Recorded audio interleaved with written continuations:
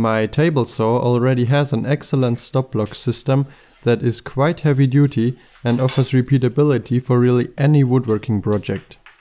But for this project, it just won't cut it. What I need is something that cannot be bumped out of alignment at all and it must be micro adjustable. And that's really all it needs to be. So I first routed a groove into my sacrificial fence and then I used my homemade T-slot cutter to expand that into a slot for the head of a T-bolt.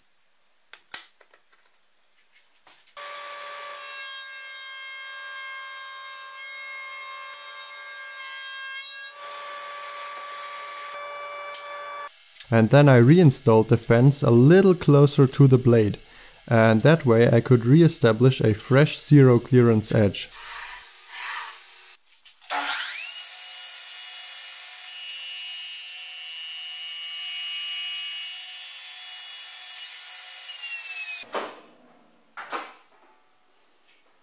I didn't have any T-bolts lying around so I made some real quick.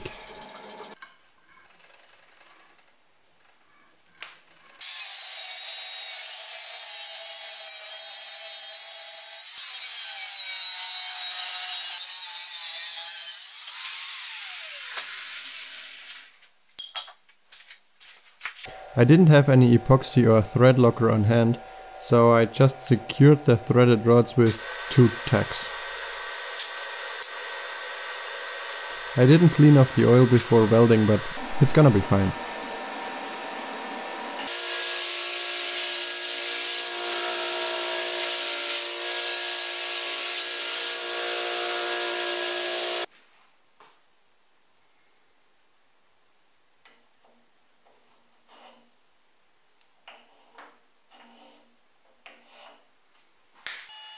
For the stop block I used a piece of birch plywood. And I drilled a hole all the way through.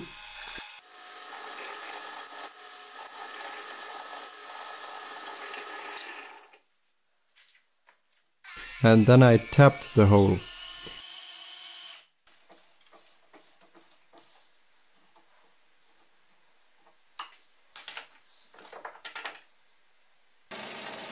And finally I drilled the hole for the T-bolt.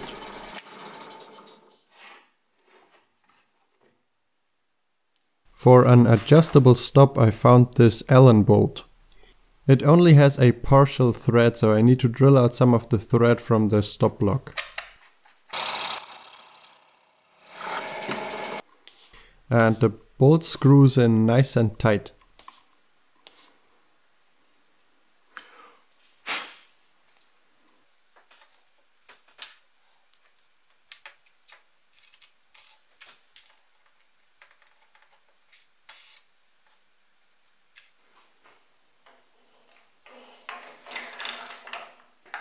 So this is my high precision micro adjustable stop block. And I can adjust it using an Allen key. Every sixth of a revolution is a quarter of a millimeter. And a sixth of a revolution is very easy to get a hold of because the Allen key has six sides. But of course it can be adjusted even more precisely than that. And in order to do that, I first set it a little oversized with my calipers, and then I sneak up to my final dimension by very carefully adjusting that bolt. But of course this does only make sense to a certain degree. But for some projects the tolerances just need to be set tighter than for others.